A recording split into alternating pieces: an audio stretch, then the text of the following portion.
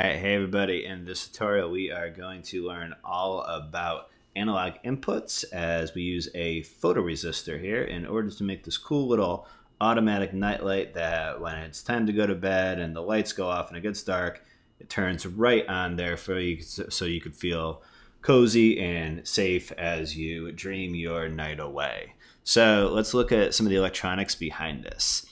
Uh, what's going to be really useful for us is a multimeter.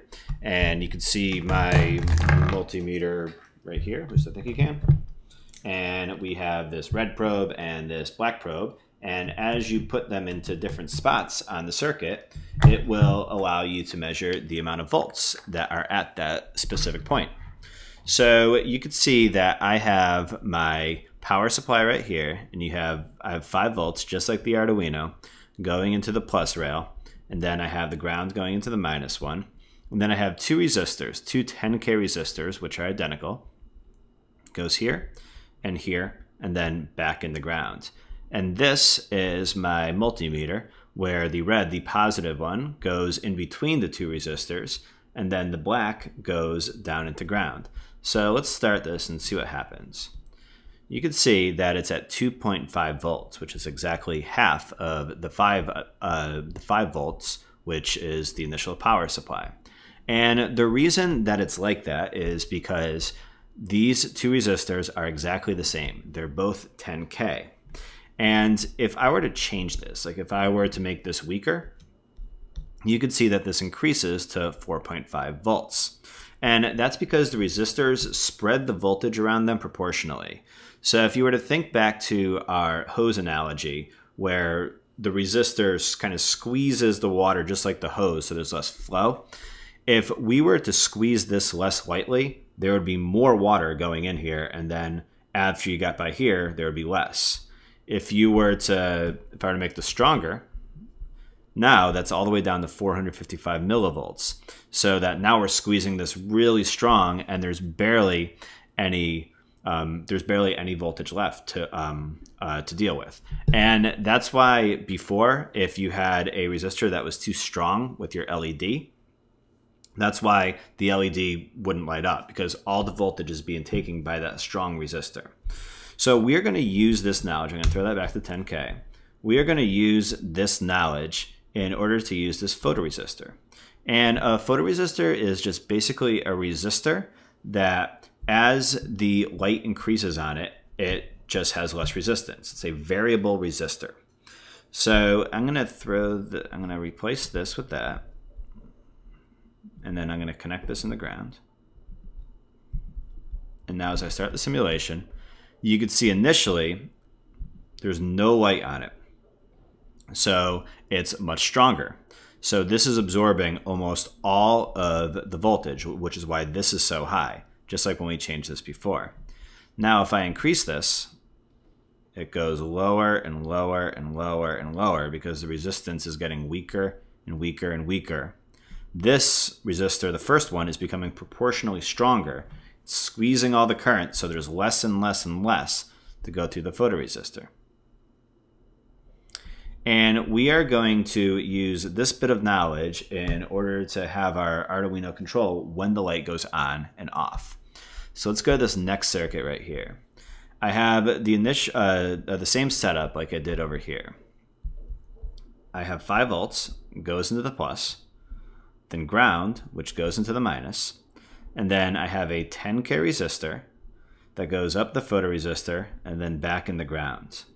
Now, instead of the voltage going into the multimeter, I have it going into the analog input, pin A0. And before we were using these pins, the digital pins, and we had a push button, which if we pushed it, it gave a signal to these.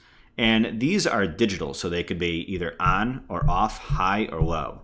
This analog one has a much greater range of values that it could read. So we are going to use this in order to determine when we want to turn on that light. So I have this input going into A0, and then I have the LED set up just like before. So it goes out from 13, up the anode of the LED, through, that should be a different value of resistor, a 330 ohm resistor, and then back in the ground. You can see my setup right here, which is should be the same, but it's just uglier and harder to read. Let's go into programming. I am going to set up pin 13 so that we can turn it on.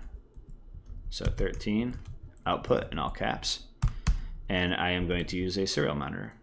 Serial, oops, that begin at 9600 baud. Then down here, just like before, I'm going to make a variable. I'll call this photo, but you can call it whatever you want. And it is going to equal, just like before, we had a digital read before. However, this time we are doing an analog read. And we're just going to put in zero. Oh, one thing. It, the analog, they default to an analog input. So you do not have to put it in void setup. That's why I didn't put that up there. So if you're using the analog read feature on the analog pins, you do not have to write anything up there. It will just automatically know what to do with it. So I got photo, and now I am going to serial print. Yep. Serial dot print ln and we are going to print photo, see what the value is. And I will let it delay a little bit, half a second. And let's upload this guy.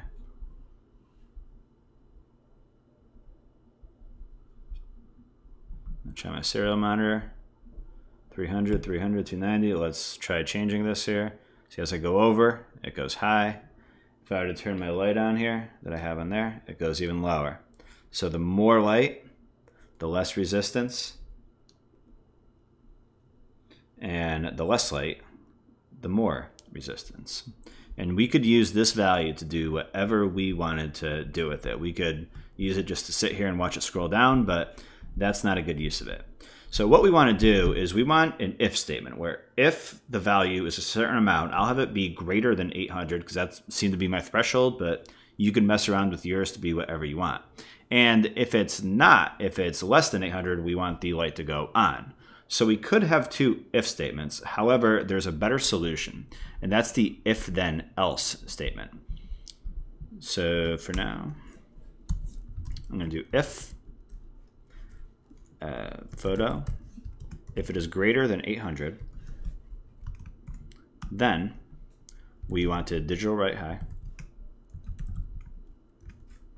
I spelled digital write wrong. Digital write. Pin 13, high. Now, we have this statement too, where we could do else. Something else happens. So, if this condition is true, this will happen. However, if it is not true, then this will happen. And it's way more elegant to write it like this than having a bunch of if statements. So I'm going to do, whoops, I don't need that. Then I want to turn it off. Digital write 13. Nah, I'm really bad at typing, like shockingly bad. There we go. And now I am just going to delay this a uh, tenth of a second each time. And I have this, I don't need this anymore. And I get kind of annoying just watching it there. So I could delete it, but I might need it in the future. So you can see these little slashes right here. Those allow you to make comments.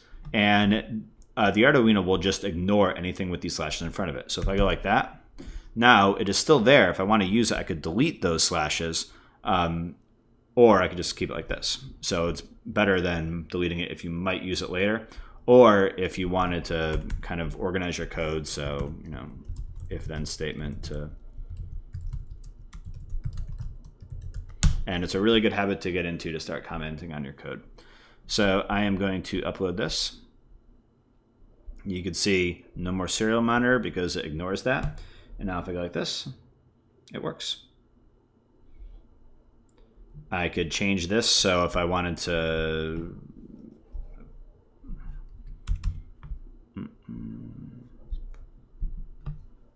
let me try with this light here. I think that might be better that's at 186. Three. So now if it's less than 200,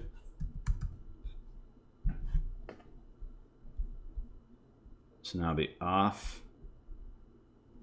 If I turn it on, it'll it'll turn on. Oh, I wanted it the opposite, but whatever. You can mess around with that however you want. And uh, so hope that was helpful and have a good one. Later.